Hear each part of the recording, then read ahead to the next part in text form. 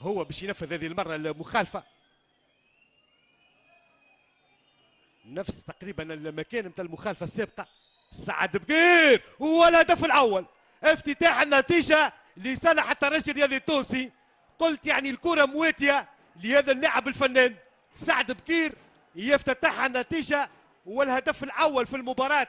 مشاهدينا الكرام في الدقيقه 29 بالضبط يعني بعد نص ساعة.